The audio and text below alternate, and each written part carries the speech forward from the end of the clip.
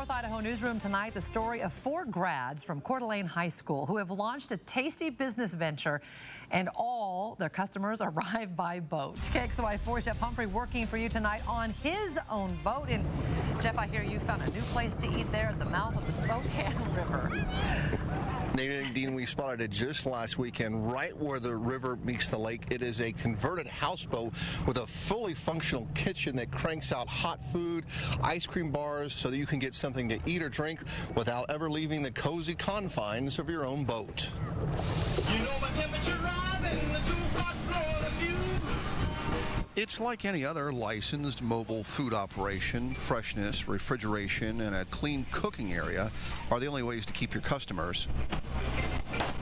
But Chef Graham Neff whips up his culinary creations on the sometimes choppy waters of Lake Coeur d'Alene. So a big hit is our uh, chicken tacos. People are loving that. And if you like something um, a little more spicy, our uh, buffalo chicken sandwich is also a great one. The food is good on the buoy, but the convenience might be even better. Summers don't last long enough around here, and so this floating operation is built for speed. A time saver for skippers who want to be on their boat every second they can. We have an easy um, technique where uh, the customer can text our number and then automatically a menu is sent to their phone. And if they like what they see, they can uh, give us a phone call, place their order. That means boaters like this family visiting from Sacramento can spend 15 more minutes cruising the lake. Rudy, your food is ready. Thank you. Before they're told their tacos, burgers, and dogs are ready. You're welcome.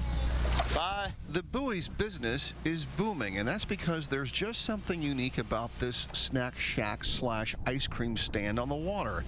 Maybe it's getting your food handed to you in a fishing net. Maybe it's the entrepreneurial spirit of four young men trying to fill a niche in the Coeur d'Alene marketplace. It's a wonderful thing, and they hope to expand, so they need voters to come out and support them. Stop by and order some food, and we might see more of them down towards Harrison and on down to St. Maries. And Nadine, unfortunately, as you can see, I've now picked up on a tail. I was only in the water for about five minutes. There's the Kootenai County Sheriff's Marine deputies keeping the Spokane River safe. That's where we're reporting love, uh, live from tonight. The Buoy Restaurant that we just saw, that's open from Thursday through Sunday. Get a noontime uh, lunch there, or they also serve uh, afternoon snacks, and sometimes they'll move over, over in front of the Coeur d'Alene Resort. But it's there's no, it, it's easy to find that boat. There's you'll know it when you see it and they're nice fellows aboard. Stop on by and have some great food. Reporting live on the river, I got to deal with these guys. Jeff Humphrey, KXLY4. Oh, you're a safe skipper. Maybe they want to know where you got your hat, Jeff. That might be it. Yeah, right, maybe that's what it is. All right.